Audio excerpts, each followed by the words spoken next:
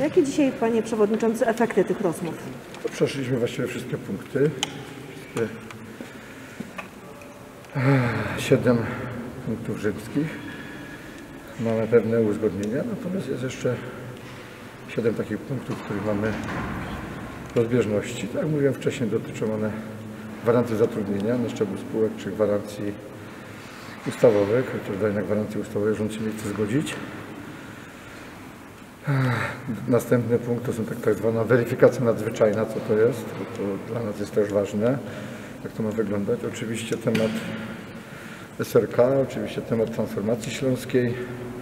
I to są takie te główne, główne punkty, które, które jeszcze chcemy doszczegółowić, którym się po prostu i strona rządowa prześpi, my się z tym prześpimy.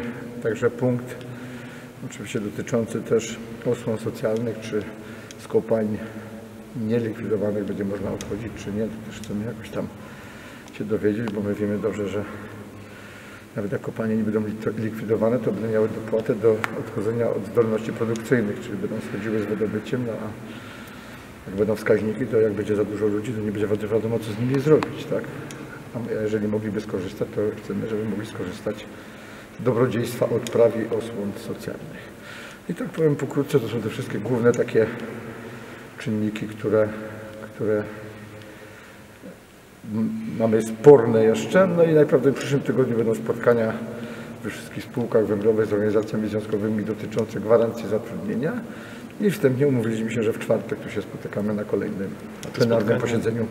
Te spotkania będą dotyczyły tego zapisu, który wyście przedstawili rządowi Znaczy się, tak, chodzi o gwarancję zatrudnienia i mamy się spotkać i przedyskutować z zarządami. Oczywiście w niektórych spółkach są układy zbiorowe, więc byłyby to ewentualnie aneksy do układów zbiorowych, natomiast w spółkach, gdzie nie ma układów zbiorowych, tak w Polskiej Grupie Górniczej czy w Jastrzębskiej Spółce Węglowej, byłyby to porozumienia wynikające z kodeksu pracy artykułu 9 ze znaczkiem 1 po- które są traktowane prawie na równi z układami zbiorowymi czy z porozumieniami prawa pracy. Ten pasek postępu się przesunął, było 80%, teraz Przesunął się, no, słyszał Pan, że jest parę punktów rozbieżnych, dla nas bardzo ważnych, tak? I musimy to doszczegółowić, bo to, żeby potem nie było, że cośmy pominęli, albo żeśmy przeoczyli, a potem po notyfikacji się okaże, że jesteśmy, nie powiem brzydko, także.